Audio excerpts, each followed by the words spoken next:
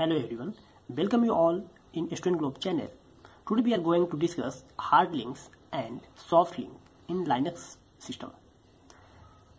In previous video lecture we have discussed seven fundamental file types like regular file, directive file, character device file, block device file, local socket file, named pipe and symbolic link. And we have already discussed all the six different file types. But today, we are going to discuss hard link and soft link that comes under symbolic link. तो सबसे पहले hard link का meaning को समझना बहुत ही ज़रूरी है। Friends suppose we have a file and we want to create another file which contain same contents of the previous file it means that कि पहला जो फ़ाइल हमने क्रिएट किया है, उसका कॉपी हमने और मल्टीपल कॉपी बना दिया। So that is the concept of hard link अब जब मल्टीपल कॉपी हमने बनाया है तो हम किसी भी फ़ाइल नेम से उसका कंटेंट को एक्सेस कर सकते हैं। So here we have one point a file can have multiple name file has more than one link यदि मल्टीपल नेम हुआ, यदि हम उसका बहुत सारा कॉपी बनाया है, इसका मतलब क्या है कि number of link is going to increase और उसको हम किसी भी एक लिंक के द्वारा एक्सेस कर सकते हैं। Inode number will be common for all such files हम लोग एक एग्ज़ाम्पल से भी देखेंगे कमांड्स के थ्रू भी देखेंगे कि कैसे हम लोग हार्ड लिंक को क्रिएट करते हैं। तो फ्रेंड यहाँ पे बोला गया है कि जो ऐसा फ़ाइल होगा, उसका आई नोट नंबर कॉमन होगा। हम यहाँ पे एज्यूम करके चल रहे हैं एड डॉट जावा पहले से फ़ाइल है क्रिएट किया गया था। सम डॉट जावा इसका कॉपी बनाया गया। इसका मतलब क्या है कि जब पहले से एक फ़ाइल ऑलरेडी एग्जिस्ट था, उसका हम लोग एक और कॉपी बनाए मतलब मल्टीपल नेम किया in this case number of link will be two जो कि यहाँ पर रिप्रेजेंट कर रहा है। तो आप L S minus L command से आप देख सकते हैं कि उस फ़ाइल का डिटेल्स लिस्टिंग आती है। तो this part is all about permission and second column में क्या बताता है? लिंक बताता लिंक टू होने का मतलब ये है कि इस फ़ाइल का और add dot java sum dot java दो कॉपी है जो सेम कंटेंट को कंटेन कर रहा है। तो लिंक क्या है? Two so all attributes are identical with different file names आप देख सकते हैं कि उसका date and size size is also the same user and group ID is also the same तो अब हम लोग यहाँ पे देखेंगे कि जो हमने बात किया आई नोट नंबर कॉमन होगा, वो कैसे चेक करेंगे? तो friends run the command L S minus L I यहाँ पे आप आई एल लिखें या एल आई लिखें बोथ विल वर्क हम चेक करना चाह रहे हैं add dot java and sum dot java का। तो यहाँ पे देख पा रहे हैं कि फ़र्स्ट कॉलम में सिक्स डिजिट का नंबर आया।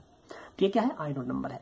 ये डिजिट का जो नंबर है, वो कम बेसी भी हो सकता है। Depends on the architecture of the system तो यहाँ पर लोग देख पा रहे हैं कि दोनों फ़ाइल के लिए add dot java and sum dot java के लिए आई नोट नंबर कॉमन आया है। अब यदि हम लोग आर एम कमांड से यदि किसी फ़ाइल को रिमूव कर दें तो आई नोट नंबर फिर से क्या होगा? वन से डिक्रीज हो जाएगा। So you can do on your terminal R M command sum dot java को रिमूव किया। उसके बाद आप L S minus L I को एग्जीक्यूट कर सकते हो। तो उसके बाद आप देखेंगे कि यहाँ पे लिंक टू के जगह पे वन होगा। तो फ्रेंड्स अब बात यहाँ पे आ रही है कि हम लोग हार्ड लिंक कैसे क्रिएट करेंगे कैसे जनरेट करेंगे? मतलब मल्टीपल कॉपी कैसे हम लोग यहाँ पे जनरेट करेंगे? तो उसके लिए कमांड होता है एल कमांड जो कि हार्ड लिंक का एक कमांड है। तो एल कमांड जो है, वो टू आर्गूमेंट को लेगा। सपोज़ दैट हमारे पास पहले से एड डॉट जावा नाम का फ़ाइल है। अब हम एक नया फ़ाइल क्रिएट करने जा रहे हैं एडिशन नाम का।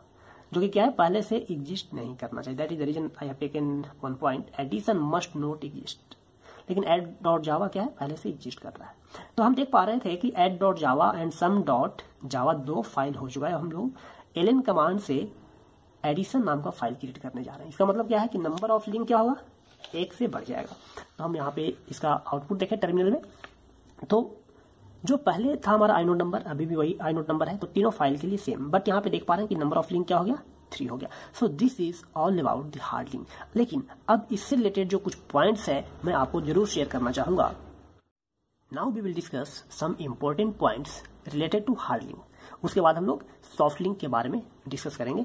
और ये पॉइंट से आप यदि हार्ड लिंक और सॉफ्ट लिंक में लिंक में कंपेयर पूछा जाए तो आप वहाँ पे लिख सकते हो। So first point we have old file should be existing जैसा कि यहाँ पे हमने दिखाया आपको कि एड डॉट जावा पहले से एग्जिस्ट होना चाहिए बट जो न्यू फ़ाइल आप क्रिएट कर रहे हैं और मल्टी कॉपी आप कर रहे हैं एन कमांड से, वो क्या होना चाहिए? एग्जिस्ट नहीं करना चाहिए।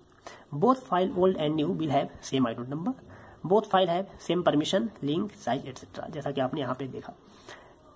Change the content of one file will change in other तो ये बहुत ही इंपॉर्टेंट पॉइंट है कि आप किसी भी एक फ़ाइल में यदि आप चेंज कर रहे हो, उसका कंटेंट को चेंज कर रहे हो तो ये रिफ्लेक्ट करेगा रिमेनिंग फ़ाइल में। If original file removed the link still work यदि हम एड डॉट जावा जो हमारा ओरिजिनल फ़ाइल था, इसको यदि हम रिमूव भी कर दें तो आपके पास अभी भी दो लिंक है तो लिंक काम करेगा। आप किसी भी लिंक से फ़ाइल को एक्सेस कर सकते हैं। Hard link only use for files not directive तो भी बहुत ही इंपॉर्टेंट पॉइंट है। तो ये फ्यू पॉइंट्स आपको याद रखने चाहिए। अब हम लोग सॉफ्ट लिंक को डिस्कस करेंगे। इसमें बहुत सारे पॉइंट हमने लिया है। आप इसके बाद हार्ड लिंक और सॉफ्ट लिंक को कंपेयर कर सकते हो। सो सॉफ्ट लिंक को सिम लिंक द्वारा आप, और ये सिम लिंक क्या है? कमांड से तो पहला पॉइंट हमने लिया है सॉफ्ट लिंक में both new and old files may be new और एग्जिस्टिंग वन लेकिन उसमें क्या था कि जो पहले का जो न्यू फ़ाइल था, वो एग्जिस्ट नहीं करना चाहिए। Inode number different for both file तो ये सॉफ्ट लिंक का ही कॉन्सेप्ट है कि आई नोट नंबर जो है, वो डिफरेंट होगा। फ़ाइल एग्जिस्ट कर भी सकता है और नहीं भी कर सकता है। परमिशन ऑफ़ फाइल्स और लिंक डिफर्स मतलब यहाँ पे नंबर ऑफ़ लिंक जो होगा डिफर करेगा परमिशन भी डिफर कर सकता है।